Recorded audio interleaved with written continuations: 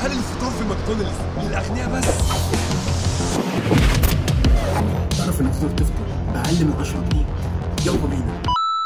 عايز اسالك سؤال بس. هيو. في الفيديو ده عايزين نقفل ملف ماكدونالدز فهنتكلم عن الفطار والسكانر الجديد لل application وهنجاوب على سؤال كل الناس عايزة تعرفه. آه ماشي. لو أنت متعرفش فالساعة 7 الصبح أول ما الديك بيدن. ولا! ماك ساعتها بيقرر إنه يمشي المنيو اللي كلنا عارفينه وينزل بمنيو الفطار لحد الساعة 11 فهندخل نفطر ومعايا فومانشي العرب ويلا بينا. افتح لي الباب يا غبي حيوان.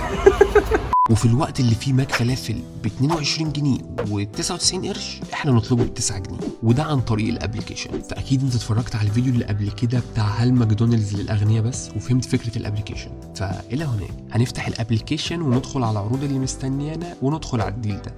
وهو إن ال drink بتاعك هيكون ببلاش سواء orange juice أو قهوة. لما تطلب معاه أي ساندوتش وهنا هنطلب ماك فلافل والحساب هيكون 9 جنيه. حق الماك فلافل بس. ولو طلبت ماك مافن بالبيض هيكون الحساب 18 جنيه. وهكذا. والكاشير هياخد منك الموبايل عشان يعمل بيه scan على الجهاز الجديد الخاص بال application وده هيخلينا للأسف بعد كده لما نعمل rate للخدمه وناخد الصندوق المجاني نخليه معانا عشان مش هينفع ناخده غير المرة اللي بعدها مع أي combo. ولازم نطلب الصندوق مع ال order المهم كالعادة هتاخد رقم وتحطه على أي ترابيزة تعجبك والأكل هيجيلك لحد عندك. وبصراحة الفضول كان قاتلني وكنت عايز أعرف بيعملوها إزاي لحد ما عرفت. إيه ده بقى؟ ده عبارة عن سندوتش طعمية عادي جدا. بس مع أول قطمة هتحس إنه عادي برضه. لحد ما توصل للصوص. اللي هو الطحينة عادي بس ما ينفعش أقول عليها طحينة بصراحة عشان ده شيء جامد جدا. وفعلا ماك فلافل من أجمل الحاجات اللي في الفطار. وبالنسبة لل drink هو عصير برتقال fresh جدا. بس مش هيعجبك برضه عشان ما عليهوش سكر. فروح هات سكر وحطه وقلب. واشرب هيظبط معاك. ولو انت شايف بقى إن إيه ده ودي حاجة ما تشبعش جيت يا معلم ممكن تجيب ال deal التاني زي ممدوح ماك مافن وماك فلافل و orange juice ب 34 جنيه.